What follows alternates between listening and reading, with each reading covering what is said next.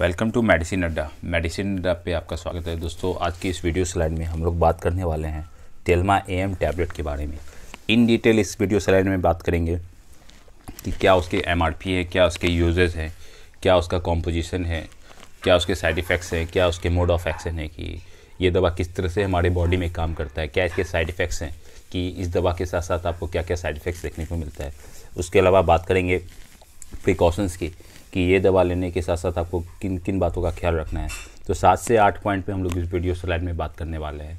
उससे पहले अगर चैनल पर नए होगे तो चैनल को सब्सक्राइब कर देना, साथ ही साथ बेल आइकन को भी दबा देना ताकि नोटिफिकेशन मिलता रहे।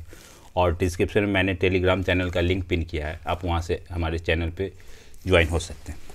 तो चलिए आज का वीडियो सेशन शुरू करते हैं। फ़र्स्ट स्लाइड में बात करें प्रोडक्ट इन्फो की। तो जैसा कि आप देख पा रहे होंगे, Telma A M tablet form में आपको देखने को मिलता है। कंपनी की बात करें तो ये ग्लेन मार्क का आता है। पैकिंग की बात करें तो ये एक स्ट्रिप में आपको तीस गोली देखने को मिलता है। एमआरपी की बात करें तो ये चार सौ सत्तर रुपया पर थर्टी टैबलेट्स है, जब मैं ये वीडियो शूट कर रहा हूँ, यानी कि दिसंबर दो हज़ार इक्कीस में। स्लाइड में बात करें कॉम्पोजिशन एंड यूजेस की तो इसमें दो कॉम्बिनेशन आपको देखने को मिलता है। एक टेलमीसाटन फोर्टी मिलीग्राम देखने को मिलता है और एमलोडेपिन आपको फाइव मिलीग्राम देखने को मिलता है। बेसिकली इस दवा का यूज़ हम लोग हाई ब्लड प्रेशर के ट्रीटमेंट में इस दवा का डॉक्टर यूज़ करते हैं। बात करें मोड ऑफ़ एक्शन की, कि ये दवा हमारे बॉडी में किस तरह से काम करता है। तो टेलमी साटन की बात करते हैं। टेलमी साटन एक एनजियोटेंसिन रिसेप्टर ब्लॉकर है। इसका काम क्या होता है कि ये ब्लड प्रेशर को लो करता है, जिसके कारण ब्लड फ्लो ईजिली हो पाता है हमारे हार्ट में। उसके अलावा ये ब्लड वेसल्स को सिकुड़ने से रोकता है, ताकि ब्लड फ्लो ईजिली बना रहे। अगर दूसरे कॉम्पोजिशन की बात करें एम्लोडेपिन की तो एम्लोडेपिन का भी काम कुछ इसी तरह का होता है। ये भी ब्लड वेसल को को चौड़ा करता है ताकि उससे ब्लड ईजिली सप्लाई हो सके। उसके अलावा ये ब्लड फ्लो को भी बूस्ट करता है ताकि ब्लड फ्लो ईजिली हमारे हार्ट में आ, आसानी से हो सके। तो कुछ इस तरह से ये दवा हमारे बॉडी में काम करता है और ये हमारे ब्लड प्रेशर को नॉर्मल रखता है। अगर ब्लड प्रेशर हमारा नॉर्मल नहीं रहेगा तो हमें काफ़ी प्रॉब्लम देखने को मिल सकता है। जैसे लाइक हार्ट अटैक आपको देखने को मिल सकता है स्ट्रोक का प्रॉब्लम भी आपको देखने को मिल सकता है। उसके अलावा किडनी प्रॉब्लम भी देखने को मिलता है। तो ये कुछ इस तरह से हमारे बॉडी में काम करता है ताकि हम लोग इस, इन सब चीज़ों से बच सकें। बात करें प्रिकॉशंस की, कि आपको ये दवा लेने से पहले किन किन बातों का ख्याल रखना है।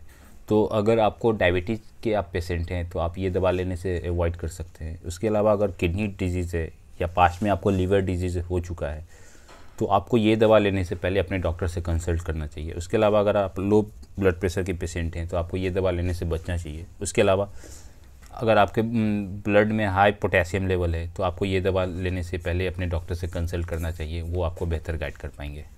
बात करें डोजेस की तो फ़र्स्ट ऑफ़ ऑल मैं आपसे हाथ जोड़ के विनती करता हूँ, और हमारे इस चैनल का मोटो भी यही है कि मैं गलत चीज़ों को प्रमोट न करूँ तो आप हमेशा अपने डॉक्टर के अकॉर्डिंग ही इन दवाओं को यूज़ करें तो ज़्यादा बेहतर होगा।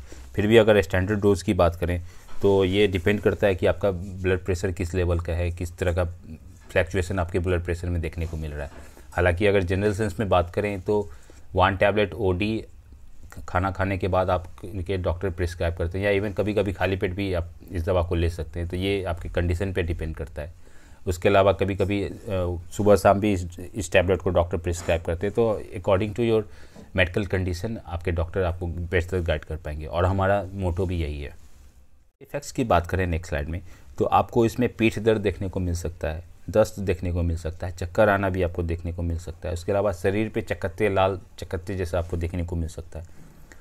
और चेहरे या कान गर्दन वगैरह में आपको गर्मी का एहसास होगा कि आपका लगेगा, कि आपको फील होगा कि वहाँ पे गर्म सा त्वचा हो गया। लेकिन हमें पोटेशियम का लेवल भी बढ़ना भी आपको एक साइड इफ़ेक्ट्स देखने को मिलता है। उसके अलावा पैर और बाहों में भी सूजन आपको देखने को मिलता है। तो बेसिकली ये सात से आठ साइड इफ़ेक्ट्स हैं। हालाँकि ये दो से चार दिनों में खुद ब खुद सही हो जाते हैं। लेकिन अगर फिर भी अगर ना ठीक हो तो आप इस दवा को रोक कर अपने डॉक्टर से कंसल्ट कर सकते हैं। इंटरेक्शन की बात करें कि आपको ये दवा लेने के साथ साथ और दूसरे मेडिसिन लेने से अवॉइड करना चाहिए।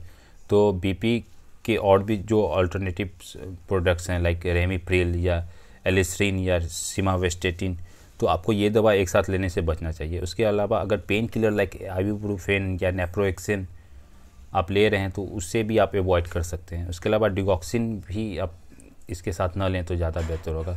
जनरली ये डॉक्टर प्रिस्क्राइब करते हैं लाइक अगर हार्ट का रिदम वगैरह फ्लैक्चुएसन में हो तो आपके डॉक्टर इस दवा को लिखते हैं।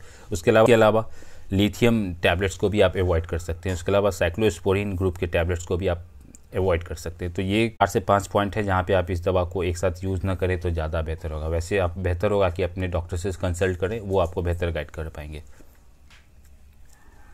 ना नेक्स्ट स्लाइड में बात करें इसके ऑल्टरनेटिव मेडिसिन की।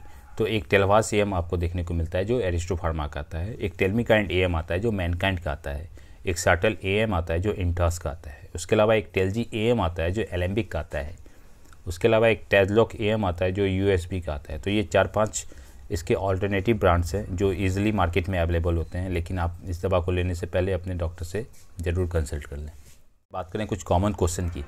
तो पहला क्वेश्चन ये है कि क्या टेलमा एम को लेते समय खाने में किन किन बातों का ख्याल रखना है? तो आपको यहाँ पे ध्यान देने वाली बात ये है कि आपको हाई पोटेशियम फ़ूड नहीं कंज्यूम करना चाहिए। उसके अलावा आपको तेज़ नमक से भी, लेने से भी बचना चाहिए। तो ये आपको खास ध्यान रखना है इन इस टैबलेट को यूज़ करते हुए। ये है कि क्या टेलमा एम को एक लॉन्ग टाइम तक इस दवा को लिया जा सकता है या नहीं? तो ऐसा कुछ दिक्कत आपको देखने को नहीं मिलेगा तो इसे आप लॉन्ग टाइम में यूज़ कर सकते हैं। स्लाइड में बात करें कि इस दवा का प्रभाव कितने समय में शुरू हो जाता है। तो आप जैसे ही इस दवा को लेंगे, एक से दो घंटे में आपको इस दवा का असर देखने को मिलेगा और आपका जो हाई ब्लड प्रेशर हाई है, उसे काफ़ी हद तक कंट्रोल देखने को मिलेगा। ये है कि इस दवा का असर कितने देर तक रहता है। तो टेलमा एम का जनरली 24 घंटे तक एक टैबलेट का असर आपको देखने को मिलता है। So thank you for watching this video अगर चैनल पर नए हो तो चैनल को सब्सक्राइब कर देना, साथ ही साथ बेल आइकन को भी दबा देना। ताकि नोटिफिकेशन मिलता रहे। अगर ये वीडियो अच्छा लगे तो इसे लाइक करना, अपने घर वालों तक शेयर करना और साथ ही साथ एक बढ़िया सा कमेंट छोड़ के जाना कि कैसा लगा ये वीडियो मिलते मिलते हैं नेक्स्ट वीडियो में। Thank you bye